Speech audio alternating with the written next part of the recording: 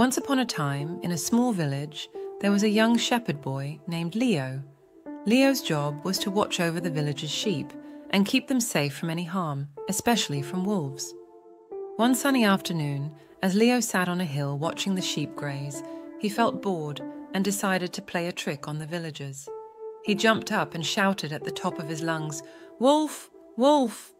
There's a wolf chasing the sheep! The villagers, alarmed and ready to help, ran up the hill with sticks and tools, only to find Leo laughing and the sheep peacefully grazing. There is no wolf, Leo said, giggling. The villagers were not amused and warned Leo, Don't cry wolf when there is no danger, Leo. It's not a joke. A few days later, Leo was bored again and decided to play the same trick. He shouted, Wolf! Wolf! There's a wolf chasing the sheep! Once more, the villagers rushed up the hill, only to find Leo laughing and no wolf in sight.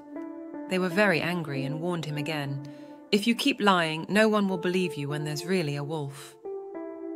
The next week, as Leo watched the sheep, a real wolf crept out of the forest and began to chase the flock. Frightened, Leo cried out, Wolf, wolf, there's a wolf chasing the sheep.